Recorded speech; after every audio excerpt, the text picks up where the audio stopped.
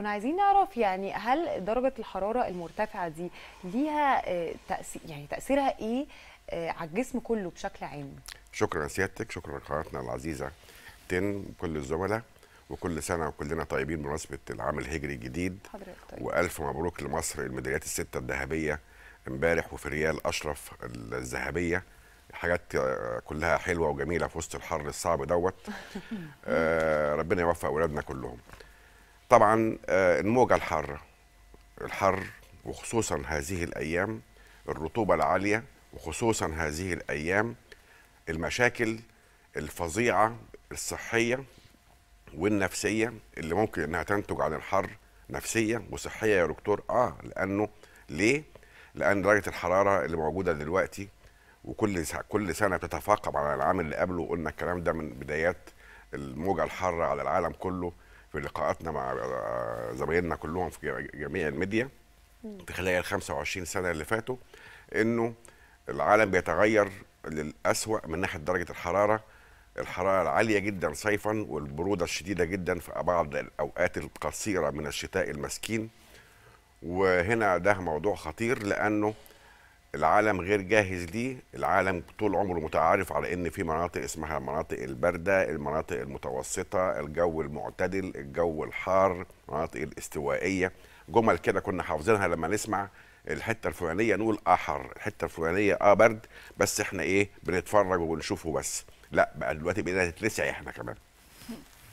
فالمناخ في مصر بأكد على مصر لأن إحنا من مصر وبنتكلم من مصر أصبح متغير والحرارة العالية بتاعت الجو بقت حرارة محتاجة إن إحنا نفهم نتعامل معاها إزاي لإن في منها مخاطر صحية خطيرة جدا لكل الناس في مختلف الأعمار صغار وك- وكبار محدش معفي منها ابدا.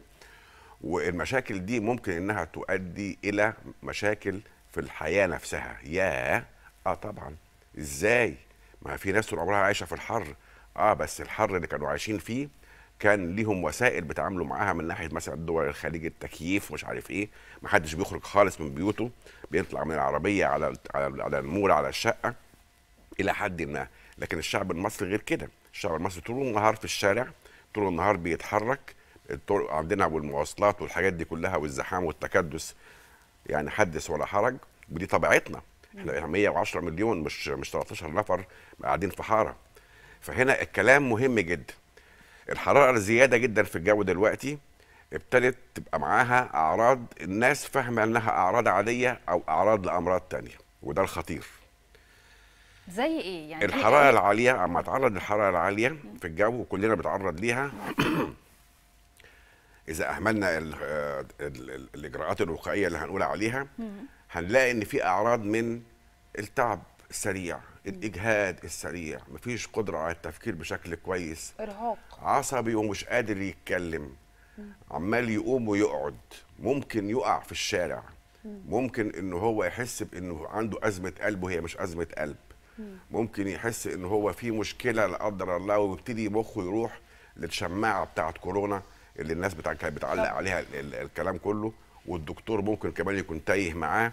والدنيا كلها تغرق والمريض يتفاقم حالته من ضربة السخونية أو الحرارة أو الشمس ممكن إنها في الآخر تتلف المخ بتاعه ويبقى فيه منطقة اللا رجعة ولا قدر الله يموت منها.